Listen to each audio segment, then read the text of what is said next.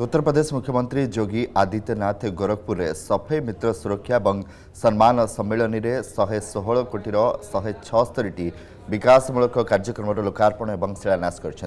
सफ़ाई मित्रों ई सेवा पोर्टाल और दस लक्ष टंका पर्यंत दुर्घटना बीमा सुविधा उपलब्ध सहित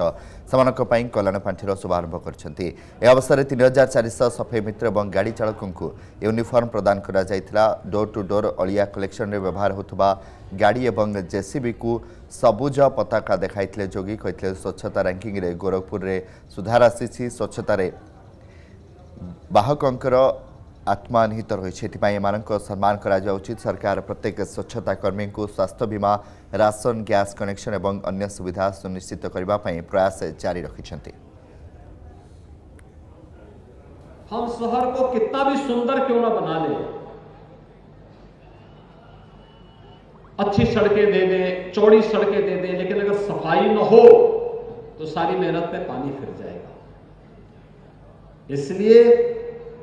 सारी सुंदरता की आत्मा किसी में निहित करती है तो इन स्वच्छता कर्मियों पे निहित करती है। इसलिए इनका सम्मान और इनकी सुरक्षा तो दोनों आवश्यक है। मुझे प्रसन्नता है कि इन्हें कई कवर सुरक्षा के प्रदान किए जा रहे हैं। किसी स्वच्छता कर्मी को अगर किसी दुर्घटना का दुर्भाग्य से शिकार होता है तो दो लाख रुपए की बीमा, सुरक्षा बीमा की कवरों से मिलेगा। मैं नगर निगम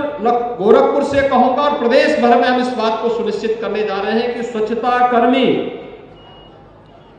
को न्यूनतम मानदेय देने की गारंटी हर हाल में मिलनी चाहिए, जिससे वह अपने परिवार का लालन पालन समय पर और सम्मानजनक ढंग से कर सके। जदि आपण को आम भिडी भल लगा तेब आम चैनल को लाइक, शेयर और सब्सक्राइब करने को जमा भी बुलां नहीं।